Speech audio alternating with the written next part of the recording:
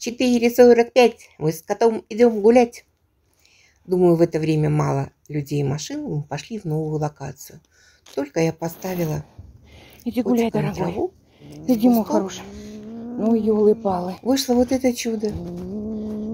Добрейшей души. Не надо. Собачка. Это ничего не принесла. Какая приветливая. Мы хотели здесь погулять, а ты нам зашинка.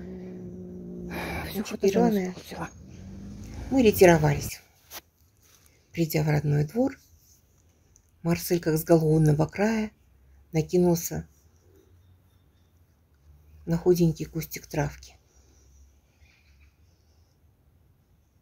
Здесь он чувствует себя уже более спокойно.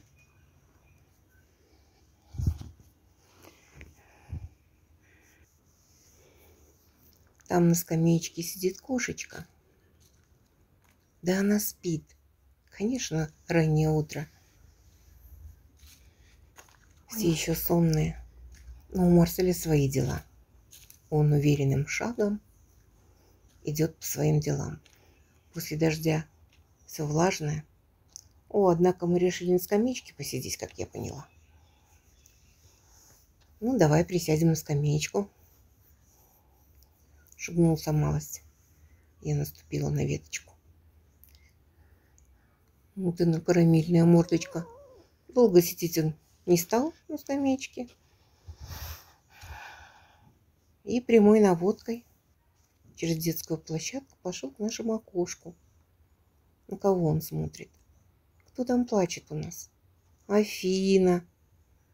Афиночка. Мы ей тоже через решетку даем травку. Еще мы увидели Симбочку. Марсель, конечно, поспешил с ним поздороваться и стал затирать место, где сидел именно то место, где сидел Симба. Я так понимаю, что он перекрывает его запах, говоря, что это его территория. Конечно, Марсель, твоя территория.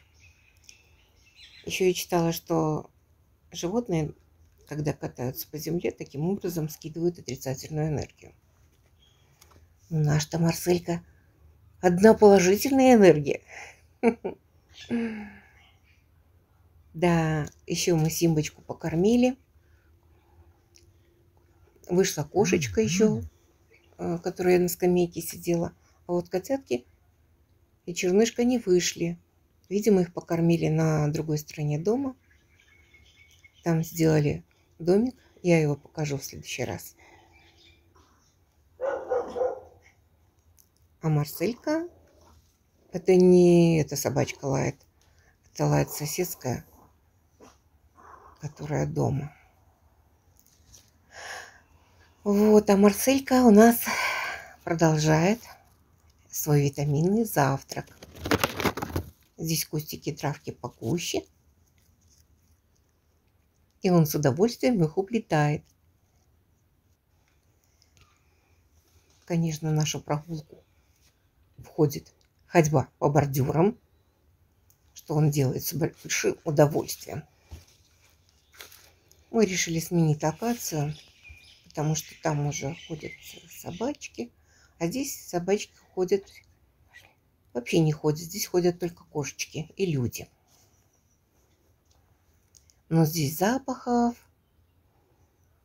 Марселька очень любит читать все сообщения, заходить в ненужные места. А мокрая земля так вкусно пахнет, совершенно не так, как в жару. А в этом ареке прячутся часто кошечки, особенно в жаркое пекло. Там прохладно, водичка не течет, ну, Марцелька там вынюхивает. Да, после ливня вообще другие запахи. Все нужно изучить. Особенно он любит всегда понюхать тую. У нее такой хвойный запах. Особенно после дождя. Был хороший ливень. А здесь красивые кусты гортензии. И Марсель решил пройти мимо этой красоты. Я очень люблю этот уголок. Там гортензии, розы, здесь ландыши. Цвели вот эти вот листочки мелкие, низкие. Это фиалки. Да, я напрасно подумала, что он хочет пройти мимо этого расчудесного места. По-моему, он чем-то очень серьезным занят. Наверное, начитавшись сообщений, он решит оставить свое письмо. Походу, я не ошиблась.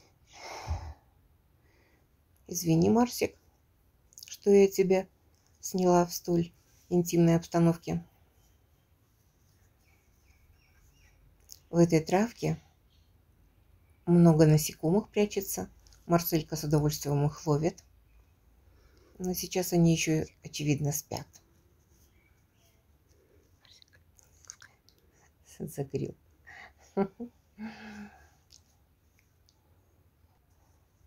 Пахнет хвоей. Запах хвои сочетается с запахом цветов. Неповторимый волшебный аромат.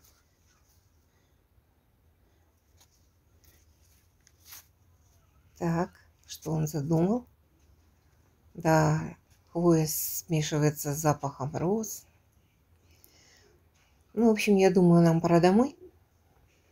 Сейчас Марселька будет недовольно ворчать, урчать, что мама его несет домой. Ну, на прощание даю ему самостоятельно подняться по ступенькам. Пошли, Марсель. Напоследок мы проверим, нет ли кошечек под машиной. Да, кошечек нет. Ну все, Марсель, пошли. Нас ждет Афинка дома. Да, дома на меня напала Афина, съела целый пучок травы. А пока Марселька сушит лапки, я решила сфотографировать такой момент, когда Афина тоже кушает травку. Потому что каждый раз, приходя с прогулки с Марселем, она нападает на нас и ждет от меня эту траву. Я думала, что она ест только из-за Марселя. Но вначале так и было. А сейчас она прям хорошими пучками кушает.